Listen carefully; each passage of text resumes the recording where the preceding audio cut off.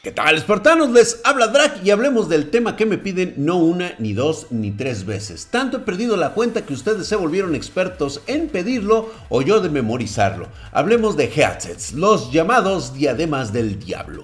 Esos aparatos acústicos que nos permiten evadirnos de la realidad y comunicarnos en nuestro entorno mágico de los videojuegos, aunque no podrá parar el terrible chanclazo por no responderle a la jefa que hay que ir a la tienda. Por cierto, si quieres que yo arme tu PC gamer o necesitas una estación de trabajo para tu profesión o empresa, te dejo mis contactos en la descripción de este video. Suscríbete a mi canal para que yo pueda cagar tranquilo, activa la campanita y compártelo con un amigo. Es importante aclarar la situación actual del uso de llámese audífonos, headsets o auriculares. Y es que hay que saber definir por su naturaleza que existen diferentes tipos de prestaciones que debemos considerar para cada actividad.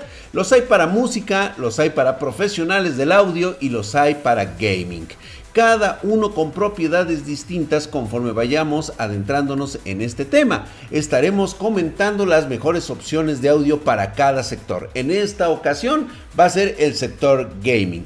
Vamos a echarle unas pruebas a los auriculares de la marca Primus que son los Arcus 150T. Y vamos a empezar por sus características. Primero vamos a comentar que tiene como sonido envolvente virtual el 7.1 con microparlantes de 50 milímetros, eh, tiene un modo de vibración que acentúa esos efectos de sonido y da una sensación de inmersión.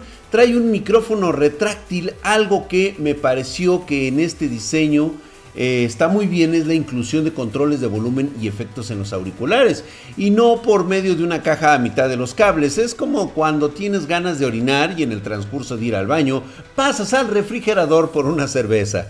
Eh, lo haces bien, Drac, muy bien por ti. Me ha gustado que tenga almohadillas de cuero sintético que se adaptan bien a mis orejas aislando el sonido que me rodea, aunque no es perfecto, posiblemente se deba a mi deformidad de cabeza de papa. Eh, están ligeros, hechos de materiales de plástico de primera y también lleva metal, con un cable trenzado que evita que se hagan nudos o torcimientos, teniendo una longitud de 2 metros. El diseño en sí de estos headset es un diseño circular tratando de resaltar el logo de la marca que es el símbolo griego de pi. Ya saben, es la relación entre la longitud de una circunferencia y su diámetro de geometría euclidiana. Es un número irracional y de una de las constantes matemáticas más importantes. Ya saben, cosas de ingeniería. Eso nunca se me da. Pero hablemos de sonido. Qué mejor escucharlo en su micrófono, el cual es plegable y tiene LED. Así que este tiene que ser un factor decisivo cuando das órdenes a la hora de los madrazos en tus juegos favoritos. Así que probemos primero su micro y vemos que también le va. Vamos equipo, pónganse por la derecha, pónganse por la izquierda. Recuerda que debes de subir. No, no te vayas de tanque, ¿cómo eres pendejo? Regrésate, hijo de tu pinche madre, dispárale. Bien, bien, bien, bien. Ahora carga para allá, regrésate. No, vente para acá, chingada madre, cúbreme. Apóyame, chingada madre. Estoy seguro que en la partida no les fue nada bien. Pero vaya que resultó que se escucha con una constante en su audio y a pesar de las maldiciones no tuvo distorsión, lo cual le agrega un puntito más. Así que una vez que hemos probado esto, decidimos someterlo al uso rudo de los juegos más tóxicos para probar su utilidad en el campo de batalla, pero también en los juegos de velocidad y por supuesto en esos donde te paseas para relajarte únicamente con el sonido del entorno, es decir, el caer de las suaves hojas. Cuando hacemos las gráficas comparativas de medición en su campo, hemos agregado el funcionamiento de otros elementos de comparación. Para que sepas cómo está estructurado este headset, que primero tenemos que oír su One Ear. Son conocidos en español como supraurales y están diseñados como su nombre en inglés lo indica, para utilizarse sobre el oído.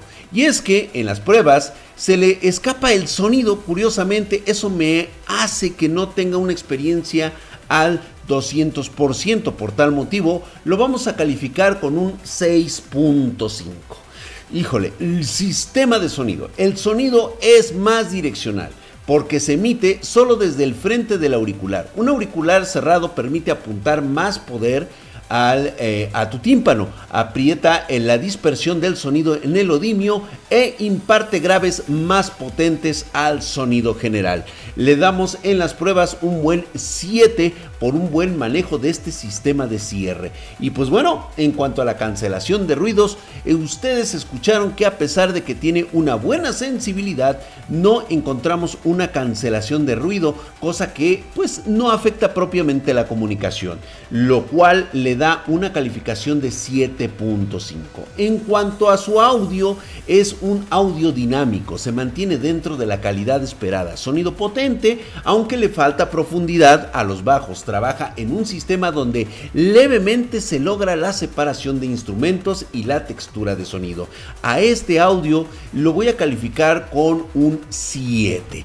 Y una vez que hemos calificado este sistema de los sonidos que genera el odimio en sí, vamos ya al panorama general de estos headsets. Hablemos de Primus que es la marca responsable y el cual llega a México eh, teniendo un diseño de marca genial un espartano. Su caja y su diseño a través de su aplicación para móviles nos cuenta una historia. Una empresa que presta atención a comunicar su legado es una marca que desea hacer muy bien las cosas. Y Primus me parece que dará una muy buena imagen a la comunidad gamer al tomar mucho en cuenta nuestras voces. Por lo tanto, como marca se va a llevar una calificación de 9.5. Y pues ahora nos adentramos en cuanto a los materiales de estos headsets. Eh, notamos que esos materiales son robustos, de buena calidad, plástico resistente, de vinipiel o cuerina, como le quieren llamar ustedes, con un, eh, pues, un buen toque de aluminio, le da una calificación de 8. Ahora, hablemos de su blindaje. Su resistencia a la toxicidad es muy buena, caídas deliberadas, azotones de frustraciones. Eh, por lo tanto, le vamos a poner un excelente 8 de calificación. En cuanto a su diseño, tiene un diseño versátil, ligero, el logo de la marca para mí, para mi gusto, demasiado grande, pero eh, presta mucha atención al detalle para que se vea bien, muy bien. Tiene un 8 de calificación. Y en precio, pues bueno, acorde a sus prestaciones, es una buena inversión a largo plazo. Le damos un equilibrado 8 también. Nuestra gráfica polar ha quedado muy balanceada en los eh, rateos en cuanto a este producto se refiere. Y pues bueno, mi opinión mía de mí, que es mía porque carajos que es mía, es que estos headsets son unos auriculares eh, de, para quien desea tener una mejor experiencia auditiva dentro de un rango de precio justo. Compartir sus experiencias con una comunidad que está creciendo me parece la parte más importante de estos audífonos. En cuanto a su calidad, están dentro de la gama de entrada. Me parece que tiene una excelente opción en cuanto a lo que pueden hacer y considero en que tienen un muy buen precio. Gracias por ver este video y nos vemos hasta la próxima.